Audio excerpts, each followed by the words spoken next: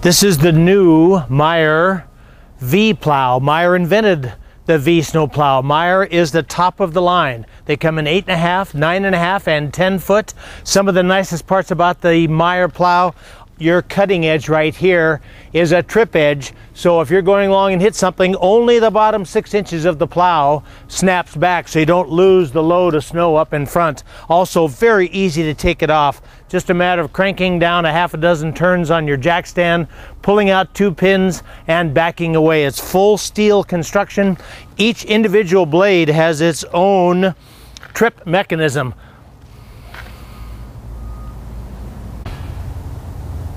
The Meyer plow is controlled from inside the cab with a handheld controller. The nicest part about this, one touch button makes it do many things. One touch, don't have to do anything. It knows exactly what to do. It'll come back, one touch, or all the way forward, one touch, or just one side, or just the other side, or if you just want it to come back. Very easy to do. The Meyer V plow. This brand new 2010 Mitsubishi Fuso FG140 four-wheel drive truck is the only medium-duty truck on the market available today with a factory installed four-wheel drive. If You take a look, this truck is complete with the flatbed, the truck, and the Meyer snowplow. Now the optional sander on the back is available at extra cost at different sizes. If you take a look, you'll find you've got a 33 gallon tank, plenty of fuel to do lots of work.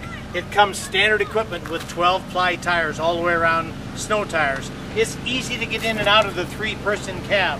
You have a double handle and double steps both.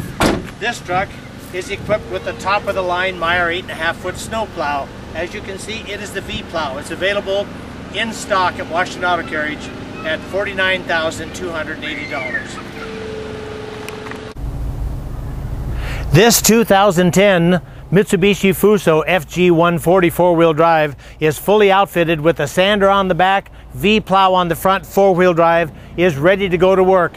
Price complete with the plow, the flatbed, the truck, $49,280.